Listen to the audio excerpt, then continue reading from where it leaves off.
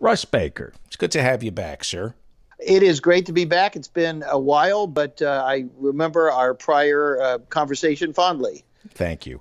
You're looking into voter suppression for the midterms. What is the difference between voter fraud and voter suppression? Voter fraud is the fake thing, and voter suppression is the real thing. This was another sort of a typical uh, switcheroo, uh, just like a compassionate conservative and all that kind of stuff. Uh, they're very good at uh, the, the, the the bad guys, if you want to say, are very very good at commandeering the language, and so they they knew that there were problems with voting, and they knew that those might be brought up, and so they took the initiative and they started saying that there were all these Latinos, illegal, whatever, who were attempting to vote, and of course we now know that there was almost none of that. Uh, what there was was vote suppression or voter suppression. And what that is, is preventing people who are American citizens, who are registered voters, from voting. I would say that vote suppression or voter suppression is probably the biggest issue and the most underrated issue that faces us as we head into the November midterm elections. And the reason for that is very, very simple. So many races are so close regularly in this country that our fate is being determined by a very small number of votes, very small number of voters, and also being determined by the fact that some people who want to vote are prevented from voting. And those people, I think it's safe to say, tend to skew a particular way. They tend to support a particular party, a particular wing, a particular set of candidates, and they are not voting or their votes are not being registered. What is the incidence of voter fraud? The idea that people are showing up and voting six, seven, ten times. I don't have the numbers in front of me, but I can tell you that our website, whowhatwhy.org, has done a number of articles on this, other uh, reporters, and the numbers are a joke. I mean, you're literally talking about a handful of people in the whole country. And in many of those instances, you can't even prove that it was fraud. People were confused. They didn't know something or other. You know, there are there are confused people, but it's such an infinitesimal number. This other issue is huge. I mean, we're talking I, I want to get to that in a yeah, second, yeah. but I, I want to paint the picture first. Sure. 100 million Americans don't vote. Yeah. So they don't really understand how voting works there are examples of not fraud, but there are examples of people like Ann Coulter or Steve Bannon being registered to vote in, say, both Florida and California. Right? That has been proven that some people are registered to vote in more than one precinct that can absolutely happen. And of course if you if you travel a lot as those people may do or have multiple homes that can happen. What you're not going to find i don't think is steve bannon or ann coulter or anybody else for that matter voting in both places in the same election. Is there a way to find out they, as I say, they there are a handful of people where it was reported that somebody voted in a couple of different places. But I mean, it's not that easy to do. Obviously, uh, what are you going to do? Go to New York and then fly down to Florida and vote again? I mean, I suppose well, they're in theory, absentee could, ballots, right? Yeah, yeah, yeah, and you know, and so of course there are these methods to try to to check on that, and and you know this this thing that Chris Kobach, the secretary of state from uh, Kansas, who's now running for governor, and then was brought on by Trump to run a voter fraud commission. They created this thing called Crosscheck, mm-hmm. where they were looking to see if people were registered in more than one state. But again, it was a, a dismal disappointment for them because there were very, there was very very little evidence. What they ended up doing, of course, was finding people named you know Rafael Martinez in two different places and saying, "Oh, there's fraud here," but of course was in fact different Rafael Martinez's. Donald Trump lost the popular vote by about 3 million. He then asked Kobach to head this commission that would look into voter fraud because he claimed that something like 3 million undocumented immigrants came to this country to vote for Hillary. This commission was set up, it was disbanded this year. What was their parting shot? What did Kobach say about his findings? We interviewed a member of that panel. There's a podcast on our site I'm going to refer you to, which is very, very interesting. And she said that the, the whole thing was a, a complete sham. They certainly, you know, whatever they concluded, they certainly did not conclude that they found abundant cases of voter fraud no examples of voter fraud in America. It doesn't exist. And it it's easy to sell to the American people because when you do go to vote, there are 100 million people in America who've never voted. When you go to vote, you don't have to show ID and you say, Hi, I'm David Feldman. I live at 1313 Mockingbird Lane, right next door to the Munsters. And there's my name, and there there's an example of my signature, and I sign my name next to my previous signature, and I go in and vote. And it's really a beautiful thing. But you could believe that somebody could come in and claim to be me and vote, but it, it just doesn't happen. Yeah, I mean, this harkens back to the you know all the loose lips sink ships, and you know report somebody working in your factory who may be a red.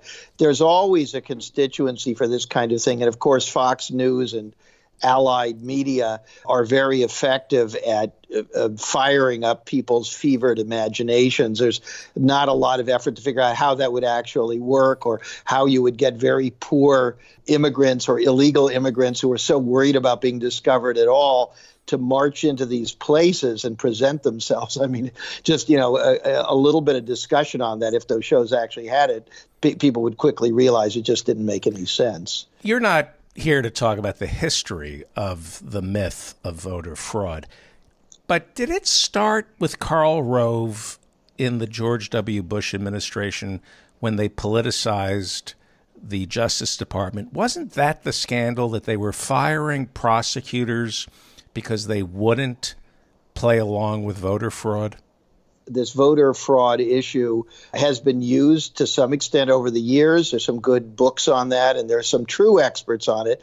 But I think the effort to use it to the extent that it's being used is both a Trumpian phenomenon. It's also a phenomenon that I think the Republican Party was already cooking up gradually over the years. So I'm sure that Rove used it. I'm sure we're going to find that it was used prior to Rove. Mm-hmm.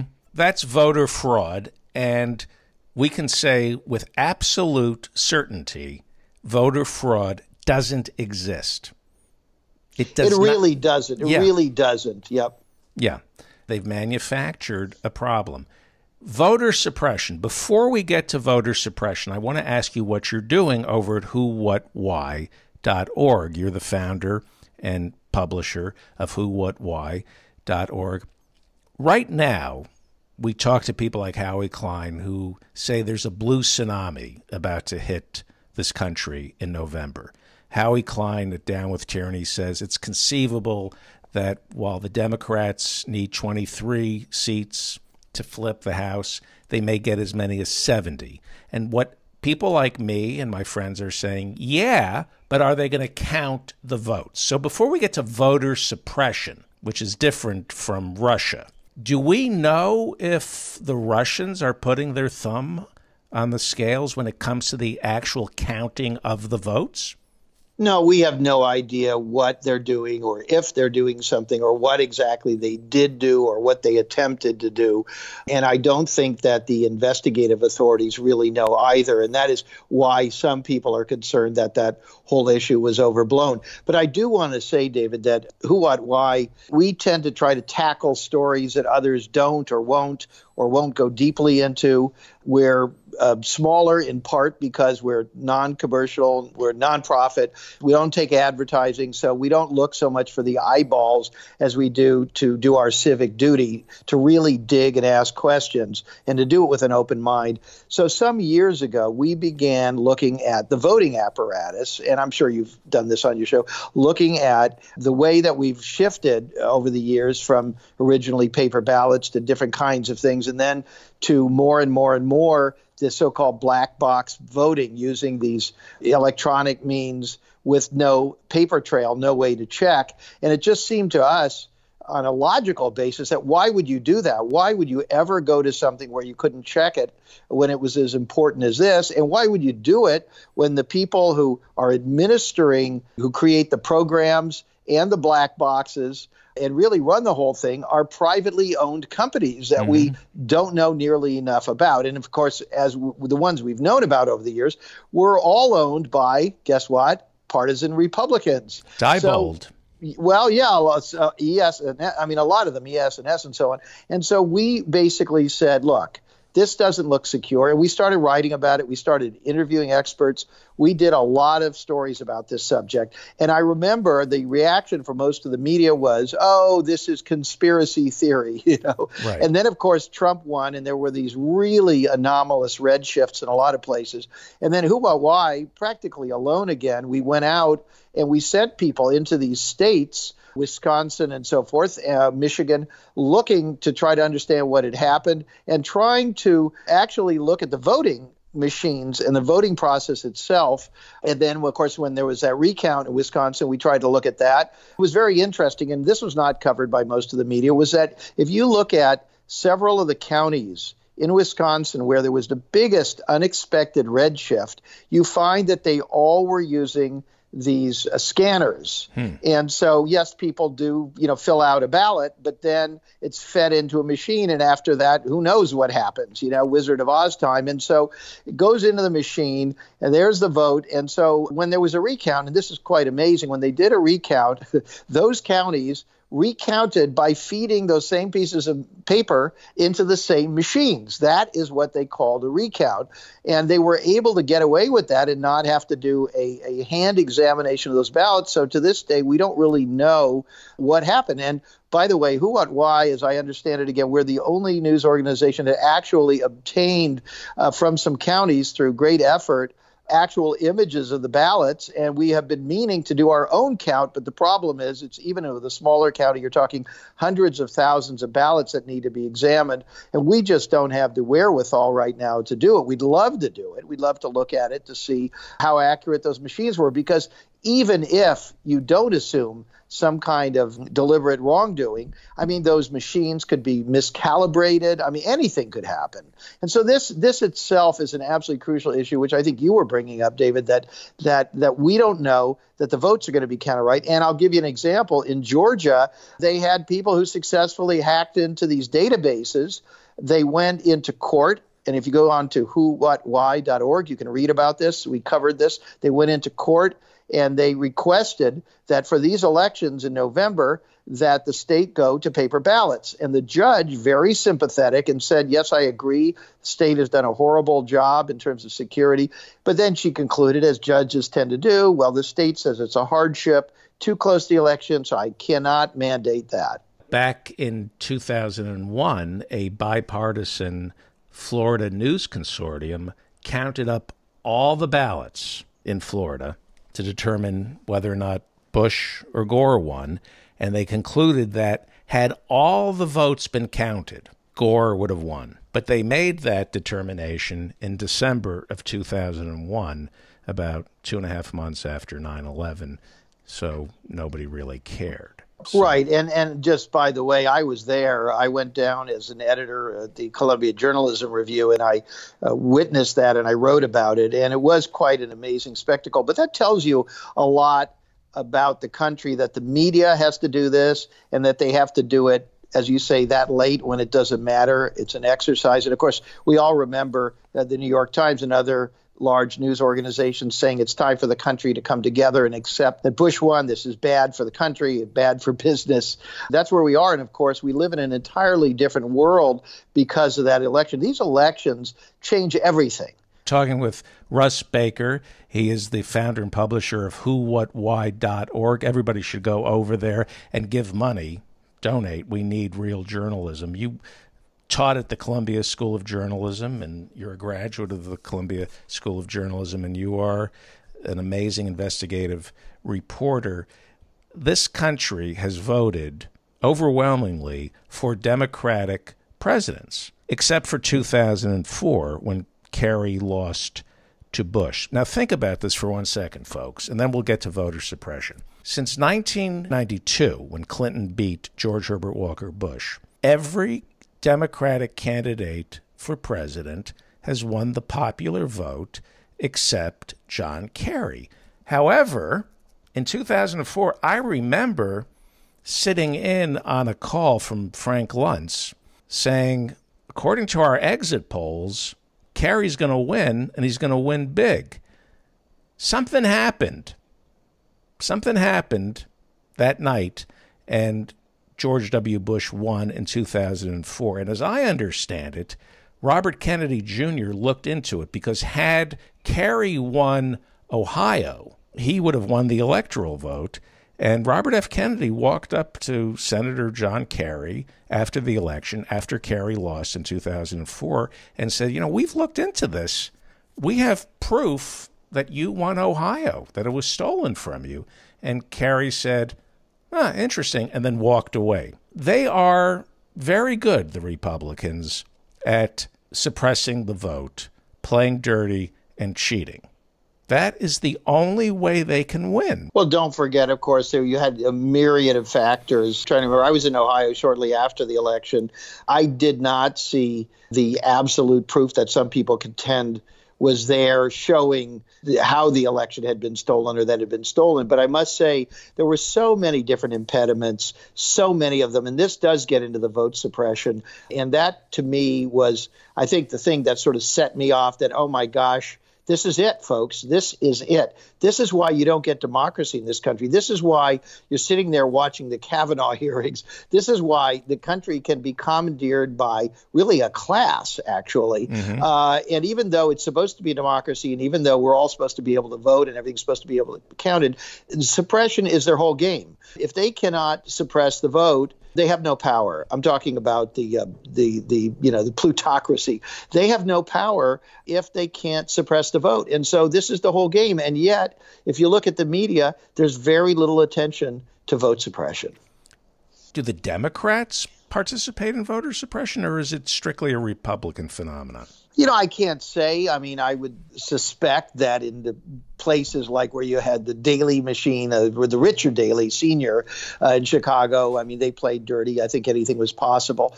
You know, I don't know. Vote suppression has to be done a particular way, and there are ways to suppress the people who are suppressed who are mostly uh, certain demographics who support Democrats. If you're going to suppress Republican voters, you it's a different group and you would have to do it in a different way. And I would say it would be much harder to do. So, how do you suppress the black vote? and is this what you're looking into specifically over at Who, What, Why? Yeah, we what we've done, David, is we've started something that I believe is unique to us. I'm not saying other people won't do stories on this stuff. Some people have done uh, plenty on it in the past. I'm talking about a systematic effort with a whole lot of people on the ground in certain key states where we think vote suppression is going to be a big factor. We are putting people on the ground, reporters, researchers, videographers. We're a small outfit. We really can't afford to do this. And later we can talk about it. We're hoping that people who listen will step up and be as generous as they can so we can do this work. Mm-hmm. Uh, and by the way, if you go to whowhatwhy.org forward slash vote, that's a donate page for this project. In any case, what we are doing is we are uh, studying all the different ways that this can happen. And we're talking to NGOs that work on these things. And what is an NGO? what is an NGO? Uh, I'm sorry, uh, non governmental organizations, basically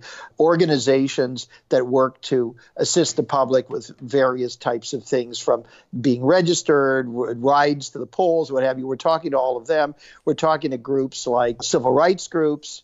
We're talking to professors and other academics, you know, who study these types of things. We're happy to talk to campaigns too, who may get some intelligence on the ground that things are going on. But the the range of vote suppression techniques is staggering, and you have to put them all together to really see the enormity of this. One example of vote suppression is this cross check, interstate cross check, where they're knocking people off uh, the voting rolls by saying, well, you know, I see your name over here in this other state. That's one thing. A second thing that they do is, as you know, there are issues around whether felons can vote or cannot vote uh, after they've served their time. Without getting into particulars, because it varies from state to state, presenting them with false information. You've been a felon and you're worried that you're going to get in trouble. So even if you think or you heard that now you're able to vote, if you hear you cannot vote. So, for example, whether there are mailings or other things targeted that give them some kind of a concern, they may not do it.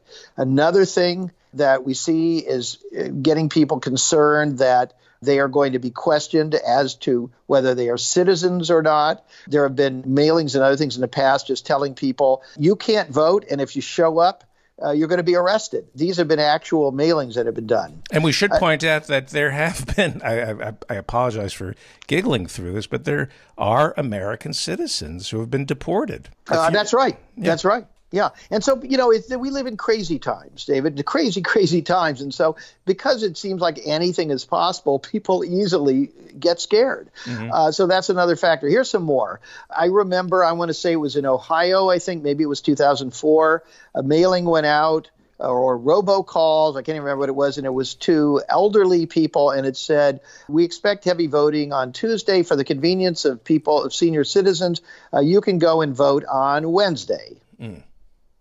That was another thing. Is that uh, protected uh, by the First Amendment? I'm serious. Is that are you allowed to do that? No, no. I, there are all kinds of statutes against deliberate disinformation, but that is a good question. And actually, I'm glad you raised it, and I'll ask our people to look a little further into that. Don't they scrub the voter rolls by sending out a postcard, and if you don't respond to it, you're scrubbed from the voter roll? I don't. yeah, well, this postcards. Yeah, this is another thing they did, and I want to say Ohio. You know, who who even reads their mail or even picks it up right. anymore? You know, I mean, a ridiculous opt-in rather than opt-out type of thing, uh, outrageous, and no no justification for it, and yet they're able to do it, and that's why these Secretary of State positions are so key. And this brings me to Georgia. We have begun our Who, What, Why vote protection project in the state of Georgia. And we have, I'm going to say, at least three people, I think, already on the ground there. We've already started to do stories. Georgia is important for a number of reasons. Number one, and you may have already talked about this on your show, is a very interesting race between a woman named Stacey Abrams and a fellow named Brian Kemp. And Stacey mm-hmm. Abrams is African American. It's a woman. She's the attorney general. She's outspokenly progressive, and she is running against a man who's diametrically the opposite. Uh, Brian Kemp is a far right Republican, strong uh, tr- uh, Trump backer, strongly backed by Trump. He also happens to be, drum roll please, the Secretary of State, and so he's and, running for governor. And why is that? What is what does the Secretary of State do? Well, the, I think their main function, or one of the main functions, is to be in charge of voting. Mm-hmm. the voting apparatus. Right. And so you see, you remember in 2004, it was the Secretary of State in Ohio who was extremely partisan and very, very aggressive.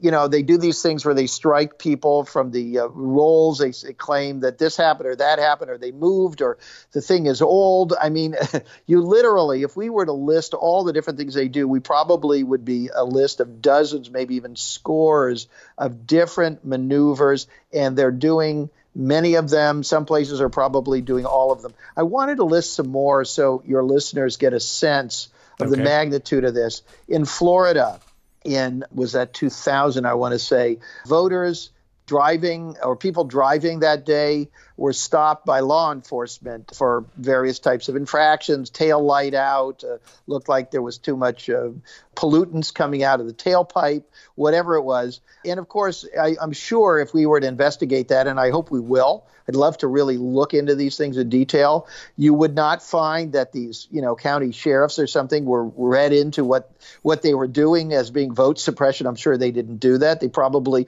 got a memo saying today is a day when many people are out and about. It's election day, and it's an important time for law enforcement to uh, to reassure the public and to be out in force.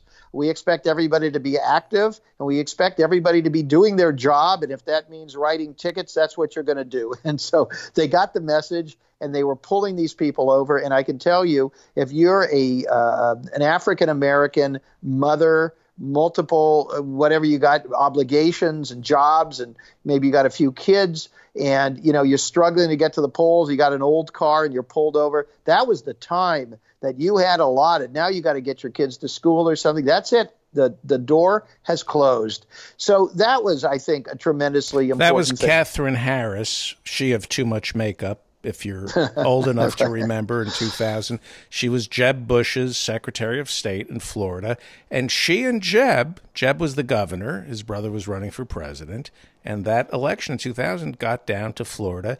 Jeb Bush and Katherine Harris scrubbed the voter rolls by using a firm in Texas. And they just removed African Americans from the voting rolls. If your name was Johnson and there was a felon named Johnson, you couldn't vote. In Florida this year, they're voting as to whether or not convicted felons who've done time can vote, right?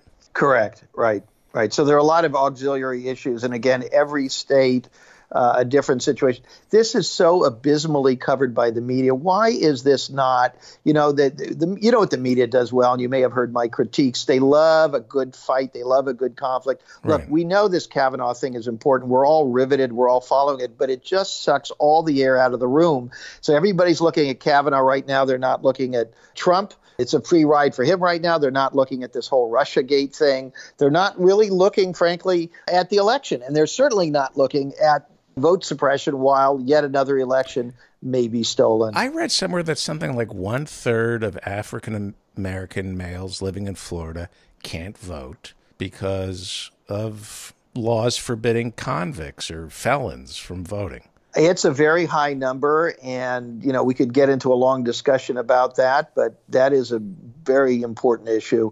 Um, I want to raise a few other examples of sure. vote suppression. Ohio in 2004 one of the things we found was that you may remember this uh, students at some of the universities there and I, as i recall it had snowed that day or whatever it was cold and there were these really long lines really long lines and people you know why were there long lines? So then that gets into what's the situation? Who are the poll workers at each place? How well trained are they? How are they selected? How many machines are allocated to each uh, each precinct, each polling place what condition are the machines in. All those kind of critical decisions are made. And of course if a machine breaks down or several machines break down and the people who are working at the polling place are not trained what to do you know i've seen that. You may have seen that. There's this total meltdown. And in heavily republican areas i, I don't know how it is that this happens the people who work there are they a lot of them are like retired military people and they're extremely efficient and boy, things just move like clockwork, and there's no long line, and boom, boom, boom, boom, boom, in and out, and you know exactly where everything breaks down, and it ain't there. So that's yet another aspect of vote suppression, and we don't need to necessarily know whether it was uh, planned or overtly planned or whatever. These things aren't being fixed. If you feel that you have been unfairly scrubbed and it's election day, what do you do? Well, you know, that's a very good question. And again, you know, in past elections, they've tried to have these monitors there. They've tried to have volunteer attorneys on hand or uh, hotline numbers that you can call. I don't know that there's a standard rule of thumb. I'm not an expert on it.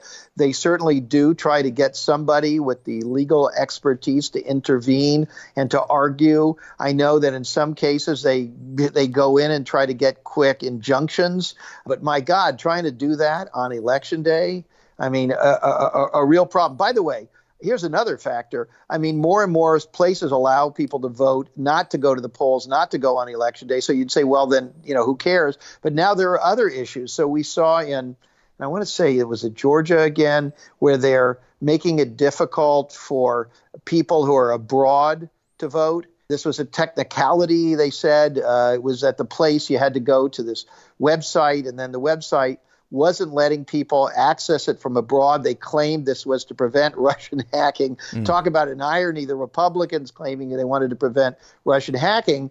And I'm going to guess they've done a calculation that, you know, since some Americans don't even have passports and that skews uh, partisan, mm-hmm. uh, that there are, there are more Democrats who are traveling or studying or whatever abroad and they just wanted to knock them out. Right. You talk about the Kavanaugh hearings. They talked about Roe v. Wade. They didn't bring up, don't think they did, Holder versus Shelby County. What was that Supreme Court ruling and why is that significant? So here's a piece we ran on uh, on Sunday, written by uh, and illustrated by some terrific members of our team. And I'm just looking at that, and this says it refers to uh, Citizens United and Shelby County versus Holder. This subversion of U.S. democracy is completely legal. The headline of the of the piece is voter suppression is government sponsored racism. I'm going to take a moment and just read a, a, couple of graphs here because I think this is so well expressed Again, if you just go to whowhatwhy.org, you scroll down, you'll find this one yeah. voter suppression is government sponsored racism. Here's what it says. In his decision, Chief Justice John Roberts argued that, quote, our country has changed, indicating that the pre clearance provision of the Voting Rights Act was no longer necessary. That was either incredibly naive, stupid, or worse. Yeah. Because, predictably, what should have been anticipated by anybody with half an eye on race relations in the American South happened immediately. It took mere hours before the first states started to implement laws that made it more difficult for, wait for it, people of color to vote. Hours. Yeah. So they already started moving with this as cover. Yeah. That's why we have voter ID now. What do you think is going to happen in November? Well, there's no way to know. You see, this is the whole thing. We all prognosticate. You got all your polls and everything else. But the fact of the matter is, so many of these races are close. The, that one in, in Georgia, the Abrams race, the Andrew Gillum race uh, in, in Florida involving another African American. These are tremendously important races because it's the first time you're seeing African Americans could be elected in that southern tier to statewide offices. In the case of uh, Stacey Abrams, she would be the first African American woman elected to head up a state. Mm-hmm. Um, and of course, let's remember that these people, that the states, the states determine the districting that determines the makeup of the House of Representatives. So these are very powerful positions. You say, well, I don't care who's the governor of Georgia, where, well, you should care.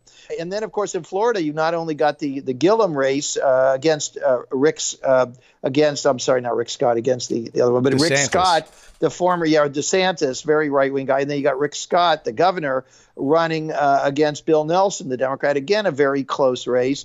They think that the African American vote is going to be the deciding factor. So I mean, you're talking about this whole country's fate basically hanging by a thread, and it's all going to be about do people bother to vote are they allowed to vote and are their votes counted? Right. and are they counted accurately? That really is the name of the game. I'm spending every waking hour just getting our team out there.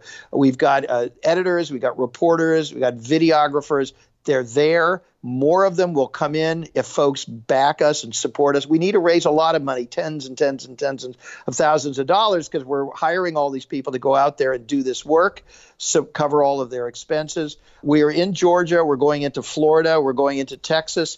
We are hoping, and this depends on the public response and tax deductible donations. We're hoping to go into other states. We'd like to go into Michigan and Wisconsin and Ohio and all these other states that have tended to be so close. We would like to go into a lot of these states. We're setting up a tip desk where people can notify us of anything they've heard or they've seen, any kind of inklings they have. And then it's going to kind of keep building, building, building. And we're going to do this work, tell the stories of people who've had problems in the past, alert the public, alert the rest of the media, create a momentum for laser attention on this issue. That is our mission. You know, if, if, if folks want to help, just go to who, what, why whowhatwhy.org forward slash vote. And you can donate as generously as you would like. Again, it's tax deductible. We also want to hear from anybody who has information on the ground. You can just write to us info at whowhatwhy.org. Let us know what you know. If you want to help in some way, we'd love to hear from you. Russ Baker is the founder and editor and publisher of whowhatwhy.org.